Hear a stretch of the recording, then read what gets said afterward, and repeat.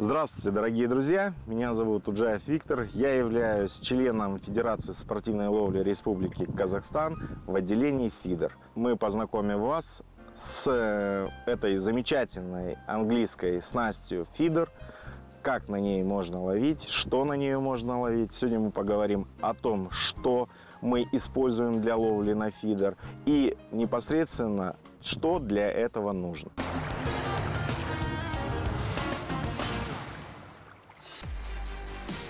Что такое фидер?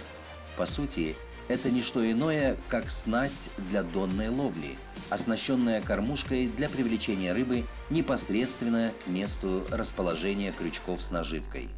Фидерная ловля сочетает в себе в первую очередь удобство расположения рыболова на водоеме, созерцание окружающей природы и отдых, так как рыбаку не приходится перемещаться по водоему в поисках рыбы, как это делают спиннингисты, а методично отправлять кормушку за кормушкой в точку лова.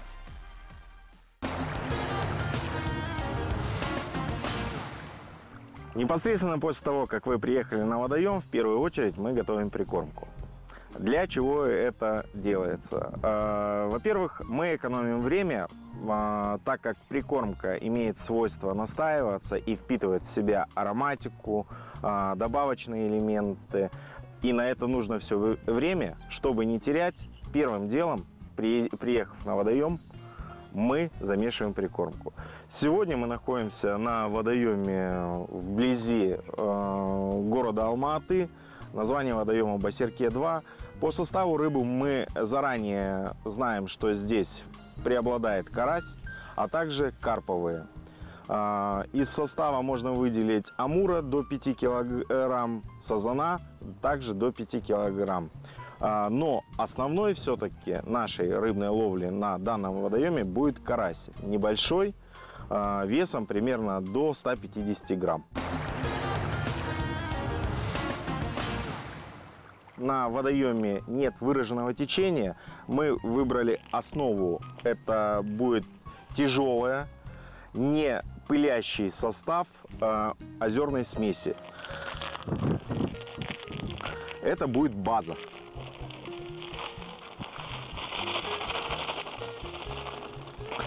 Также мы выбираем кукурузную часть, э, непосредственно так как карп и карась э, тоже ходят из семейства карповых.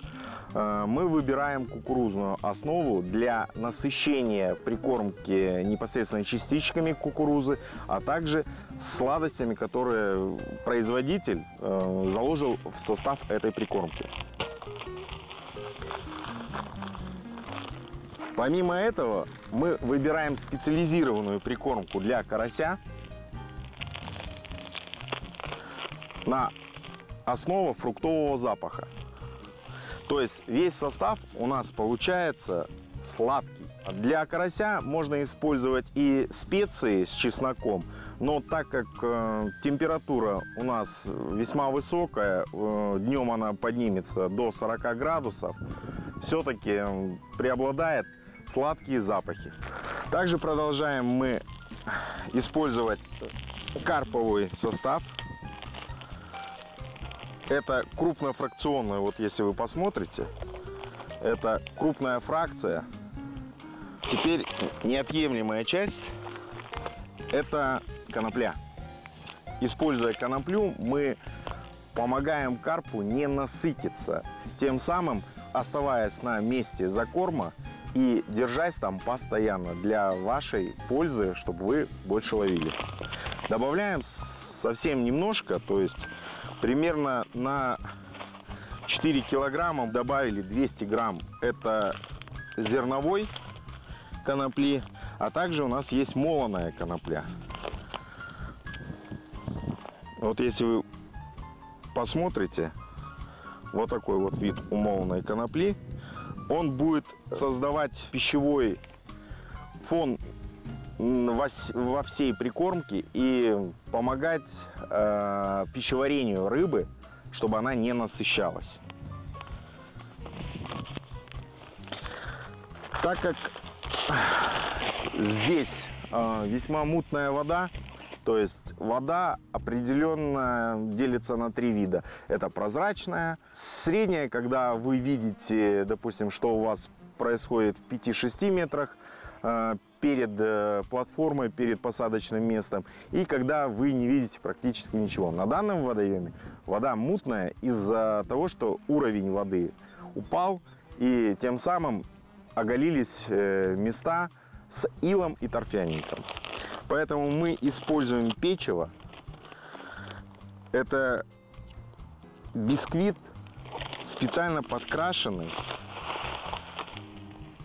для того, чтобы выделить его на фоне темной прикормки. Также мы добавим секретный ингредиент. Это молотый опарыш, который является активатором клева в, наше, в нашем составе.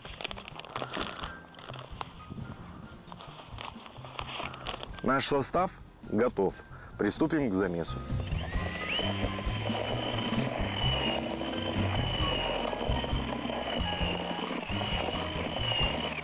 Мы смешали все до однородной массы. Чтобы затемнить прикормку, мы используем колер на основе пищевой краски и э, бисквитной крошки. Тем самым мы затемняем прикормку и делаем ее э, в один тон с дном этого водоема. На 6 килограммов мы используем примерно 250 миллилитров этого замечательного средства. Перемешиваем это в сухом виде. Обязательно. Потому что если мы э, будем увлажнять и потом добавлять, мы не получим того эффекта, который нужен. Следующая фаза – это увлажнение. Увлажнение у нас происходит в три этапа.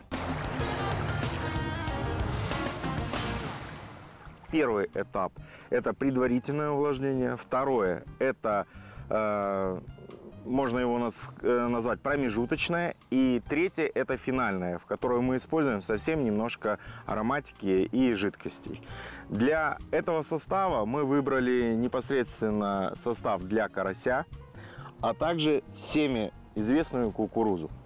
Мы набрали в одну литровую емкость воды из водоема и добавляем где-то 250 миллилитров. Также всеми любимая кукурузка. Теперь это все перемешиваем и приступим к увлажнению. Льем в первую очередь весьма обильно.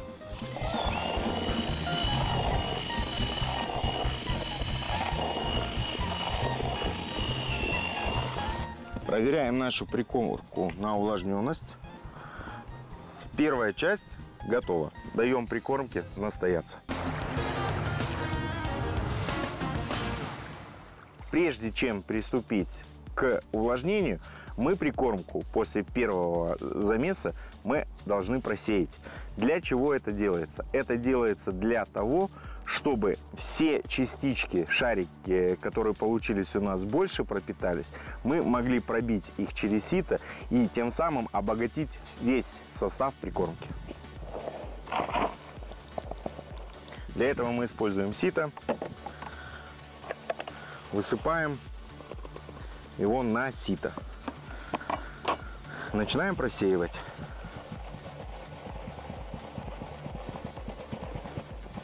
Вы можете увидеть то, что здесь у нас более мелкая фракция, и она э, уже пропиталась.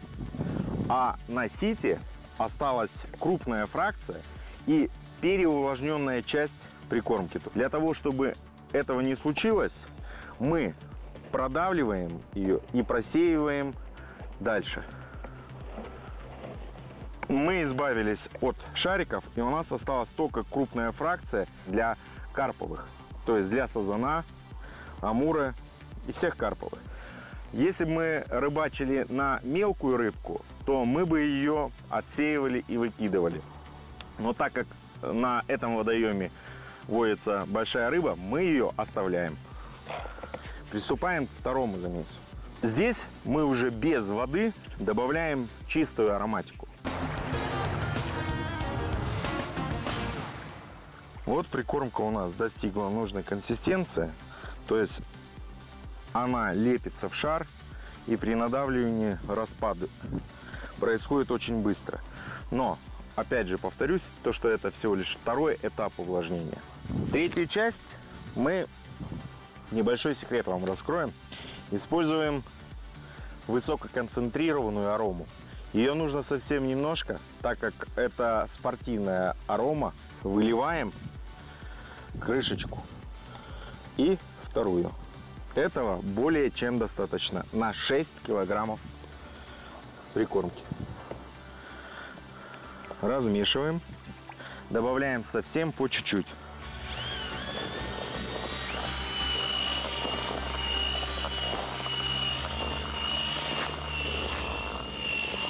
Постоянно проверяем консистенцию прикормки, чтобы не превратить прикормку в грязь.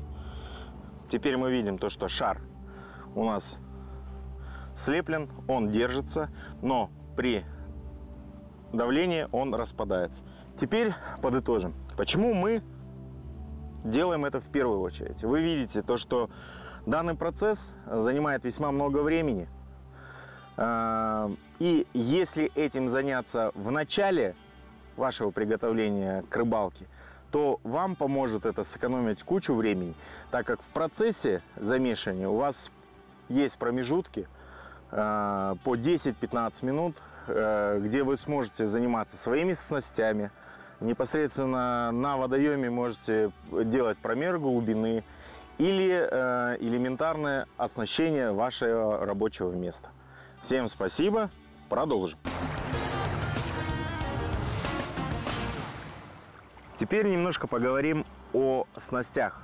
В фидере мы используем э, снасть фидерную. Извините за тавтологию. Э, основное отличие этой снасти является квивер-тип. Э, в простонародье вершинка. Из-за того, что она имеет очень чувствительную функцию, то есть она при поклевке служит индикатором поклевки. В отличие от поплывка и донной снасти старого образца, где сигнализатором поклевки служил колокольчик. Здесь все внимание ваше привлечено к вершинке, к вивер-типу. Удилище э, для фидера бывает следующее. Это самое легкое вид удилища, это пикер Далее идет light, следующий medium и четвертая стадия это heavy. Обычно фидер состоит из трех частей. Это непосредственно комель, средняя часть и верхняя часть. И последняя ее часть это вершинка. Вершинки съемные. В комплекте обычно идут от двух до четырех вершинок. На них на всех написан тест. В данном случае это полтора унции. Что означают эти цифры? Полтора унции – это рабочее состояние натяжки при э, поклевке. То есть по вот этой вершинке выбираются непосредственно размеры кормушек и вес кормушек. Сама вершинка в забросе и подаче кормушки на дальней дистанции не участвует. Не бойтесь ставить э, кормушки весом 40, 50, 60 грамм и закидывать их на дальние дистанции. На каждом удилище существует тест. В данном случае это 70 грамм, это рабочая нагрузка этого удилища, которое заложено производителем. Обычно производители занижают тест э, для людей, которые пользуются. То есть э, данный фидер э, может прекрасно работать и с кормушками и 100 грамм, и 120 грамм. В основном этот тест пишут для тех людей, которые только начинают. Спортсмены выбирают уже непосредственно удилище себе, э, опираясь э, не на сам вес удилища, а на строй удилища, вес удилища и длину удилища. Собираем мы фидер непосредственно с верхней части удилища э, для того, чтобы соблюсти соосность всех колец и э, тем самым э, как бы не допустить захлестывания и переломов в леске либо шнуре. Мы вставляем вершинку, верхнюю часть фидера, не до конца, чуть-чуть не доводим до конца. Убедившись в том, что наши кольца совпадают чуть-чуть между собой, легким движением руки мы доводим вершинку до конца. Берем среднюю часть фидера, также соединяем и проверяем уже здесь на соосность. И заключительная часть – это комик удилища. Здесь обычно присутствует самое последнее кольцо. Также проверяем ее на соосность. Итак, наш фидер в сборе. Далее нам нужно установить катушку. Можно сильно тянуть, не боясь то, что удилище сломается. Вот в таком виде у нас рабочая наша палочка. Продеваем в кольца. Следующее кольцо. Обязательно после того проверяем, что оно прошло именно через кольцо.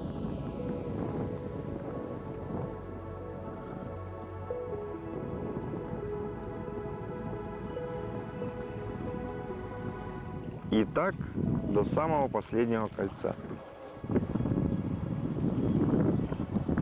Затягиваем фрикцион. Подматываем леску. Для того, чтобы дать ей натяжку. И приступаем к вязанию монтажа. На данном водоеме мы будем использовать спортивный монтаж инлайн. Сейчас мы продемонстрируем, как он вяжется.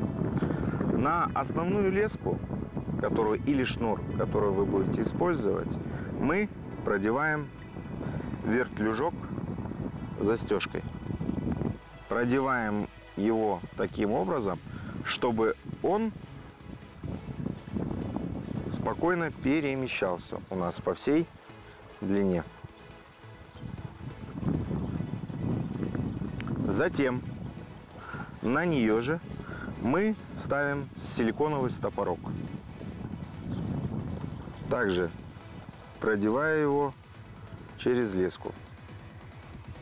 Тем самым мы обезопасим саму леску от ударов кормушки, которая будет пристегиваться вот сюда на карабин, по узлу. Вот так оно будет выглядеть. На конце основной лески мы делаем скрутку э, длиной 10-15 сантиметров. Как делается скрутка?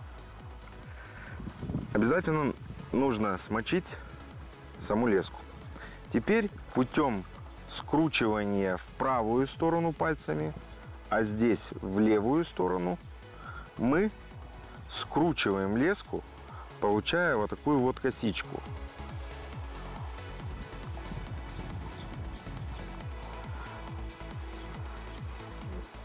Длиной примерно 10-15 сантиметров. После чего мы вяжем узел восьмерку на конце этой косички. Восьмерка вяжется следующим образом. Вы складываете ее в петлю, проворачиваете один раз, заводите кончик вот сюда и вытаскиваете. Вот он, узел восьмерка. Обязательно смачивайте узел, так как при затягивании леска будет перегреваться, и чтобы не допустить этого, обязательно смочить нужно узел. Стягиваем. Остаток лески мы при помощи ножниц обрезаем, чтобы небольшой кончик оставался на узле. Далее силиконовый стопорок, который мы предусмотрительно привязали раньше, мы натягиваем его, вот, чтобы было видно, натягиваем его на узел. Смело, чтобы он его закрыл. Тем самым мы наш узел спрятали и наш вертлюжок с карабинчиком теперь спокойно упирается в него, не нанося вред ни узлу, ни соединению. На сам карабин вешаем кормушку. Мы видим прекрасно, что скрутка действует в роли отвода. Сама кормушка будет висеть вертикально.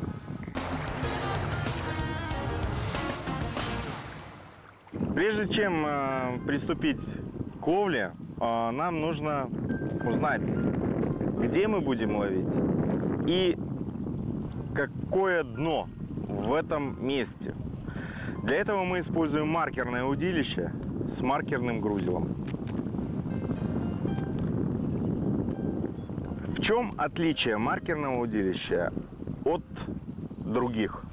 В тем, что э, оно абсолютно полое. И все неровности, все шероховатости, которые существуют у нас на дне, мы прекрасно ощущаем по кончику данного удилища и по тому, как оно звенит. А именно, положа палец на часть открытого удилища, мы прекрасно чувствуем, что у нас на дне. Приступим к промерке и прощупыванию дна.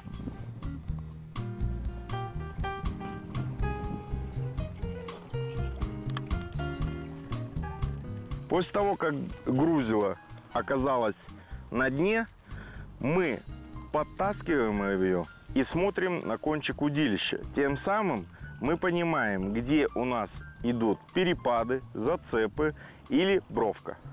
По тому, как тянется грузило, мы чувствуем, тянем ли мы его по илу, либо по песку, либо по камешкам, либо по ракушке.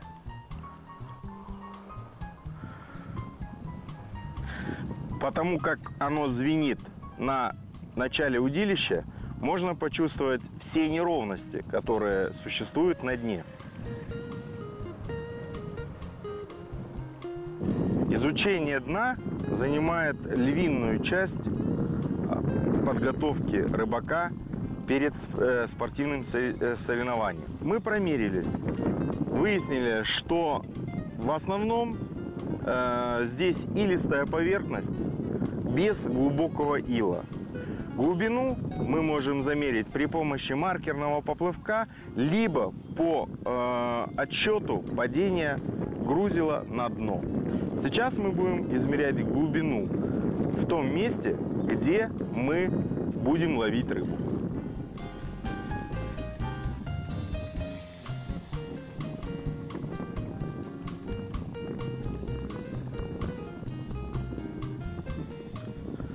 Груз у нас упал на счет 5. Значит, глубина примерно 4,5 метра. Теперь мы выматываем удилище и будем искать бровку, либо какую-нибудь аномалию на дне для того, чтобы заклипсовать маркерное удилище и перенести данную длину на удилище фидерное. Найдена первая бровка. Мы делаем клипсу и Выматываем удилище.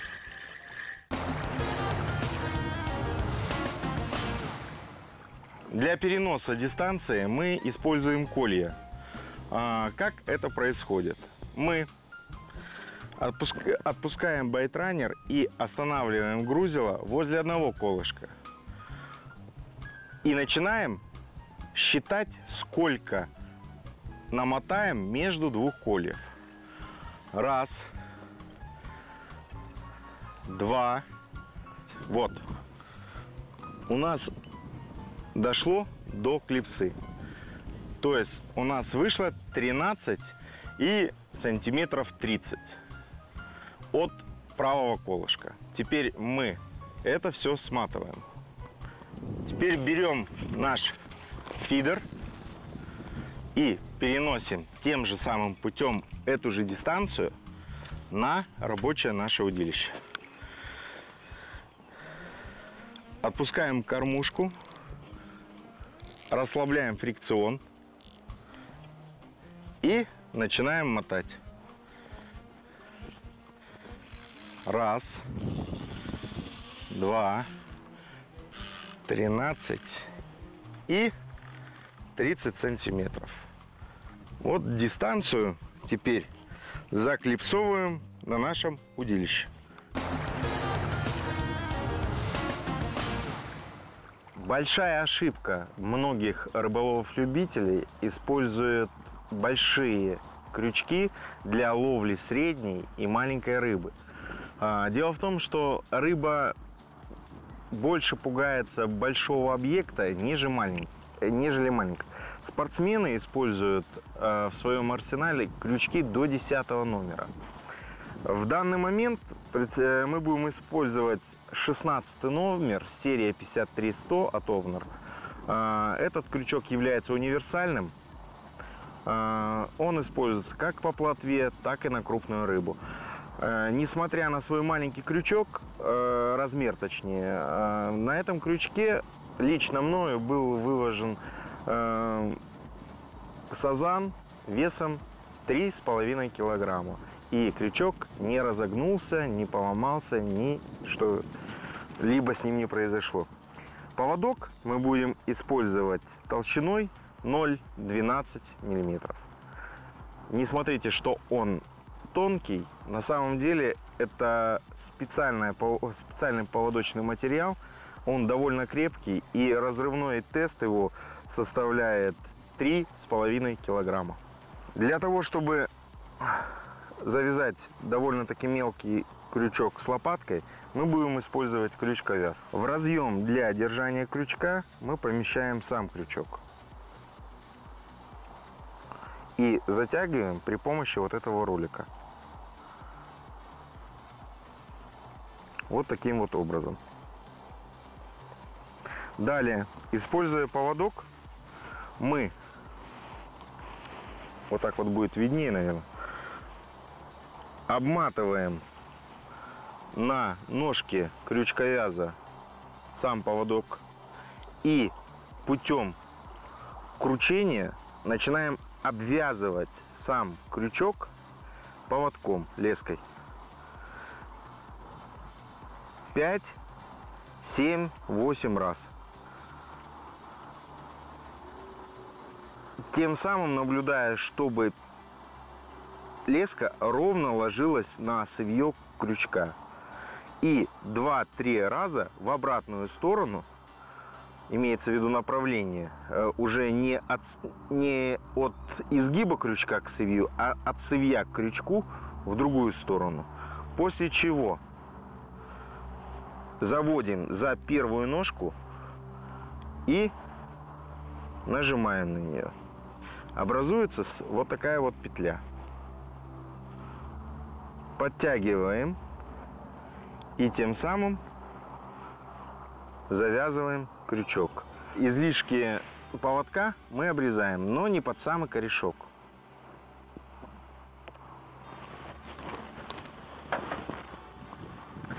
Вот у нас получился аккуратный и надежный узел на лопатке. Со второй стороны поводка мы делаем петлю. Опять же, уже известной нам узлом восьмеркой. Восьмерочка. Обязательно намочив узел. Излишки также обрезаем при помощи ножниц. Далее мы этот поводок вешаем на нашу скрутку, продеваем его в петельку.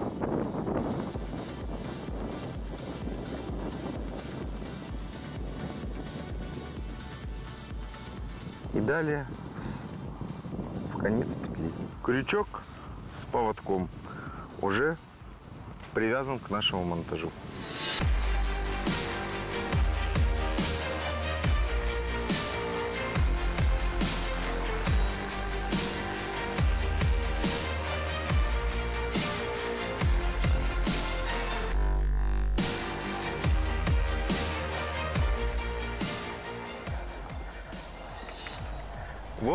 С вами видим стандартную поклевку сазана, удилище в дугу.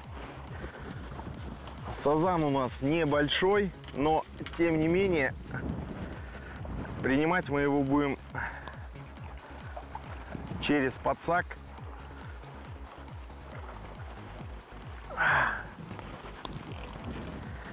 Так как поклевки сегодня редкие из-за неимоверной жары. Вы можете видеть, что засечка произошла за край нижней губы, как и должно быть.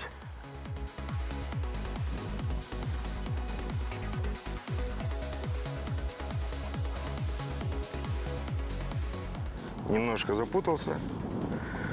Вот первая рыбка непосредственно на водоеме Басерке 2. Маленький сазанчик.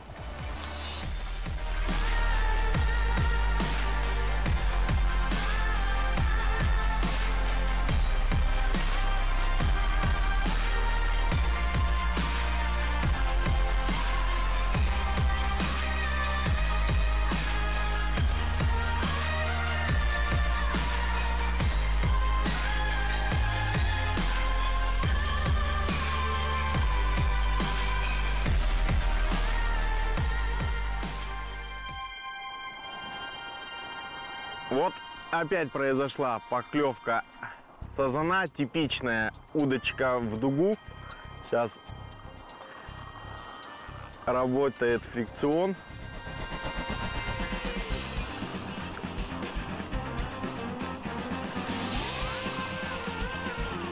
Этот побольше.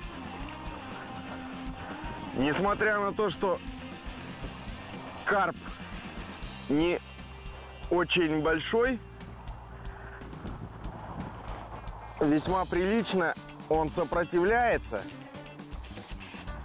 А поводок у нас, я напоминаю, стоит 0,12. Поэтому работаем только через подсак.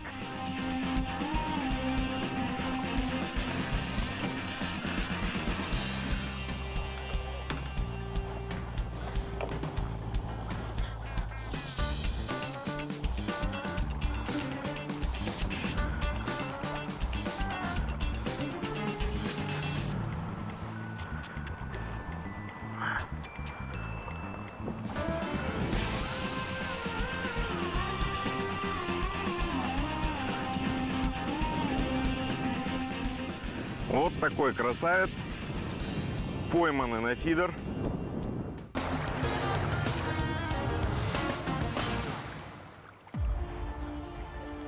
Буквально прошло минут 20 после очередного сазанчика, и мы видим, что у нас на крючке экземпляр гораздо крупнее.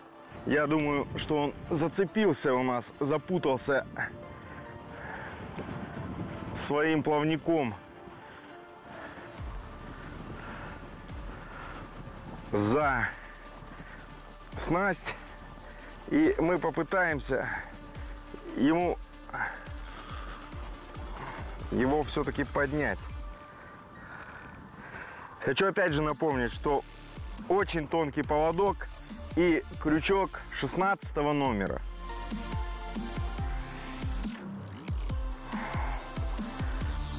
Вот он. Да, так и есть. Он запутался в поводке, поэтому сопротивляется меньше, но от этого вес его кажется раза в два больше. О! Это апофеоз нашей сегодняшней рыбалки. Думаю, можете посмотреть опять за краешек губы. Совсем, вот, усик уберем. Совсем за край. Оттащился боком, потому что он запутался. Видите, запутался в тонкой леске. Из-за этого он вышел боком у нас. Смотрите, вот такой маленький крючок. Это для тех, которые пытаются поймать вот такую рыбку на большие крючки. Достаточно вот такого маленького крючка. Вот такой он у нас красавец.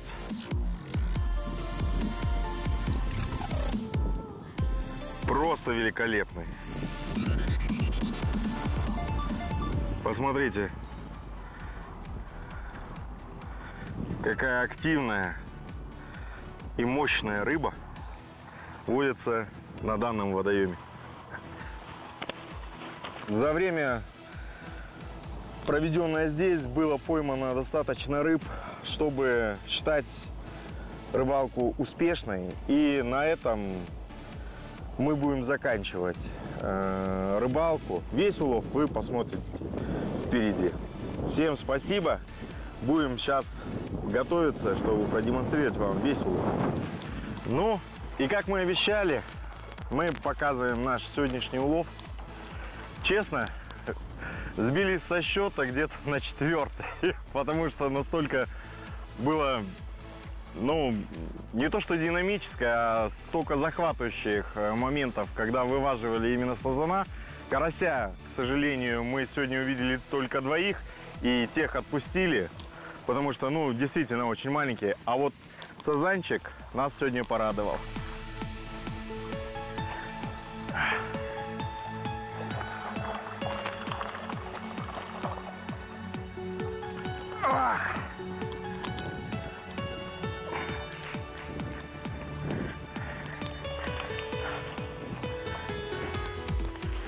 Вы видите, наш улов превзошел все наши ожидания. Прикормка сработала правильно. Фидер – это универсальная снасть, несмотря на то, что сегодня был и ветер, и волна. Э, он позволил достойно отловиться на этом водоеме, поймать замечательные экземпляры и по количеству, и по качеству рыбы за каких-то 6 часов ловли – нет слов.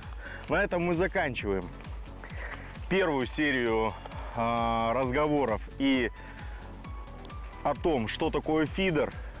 Надеюсь, вам все понравилось. Рыбачьте на фидер, пользуйтесь фидером. И поверьте, вы останетесь довольны и всегда с уловом. До новых встреч! С вами был Виктор Уджаев. В конце хотелось бы сказать, ребят, Пойманную рыбу мы всегда отпускаем. А, основной принцип спортивной рыбалки – поймал, отпусти. Поэтому вся пойманная рыба, пойманная сегодня, возвращается в замечательный водоем Басерки-2.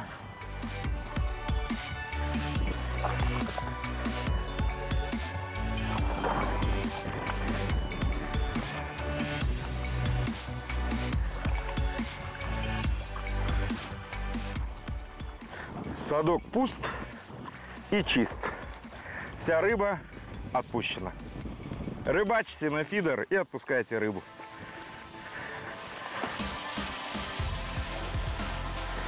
О, Змей Горыныч.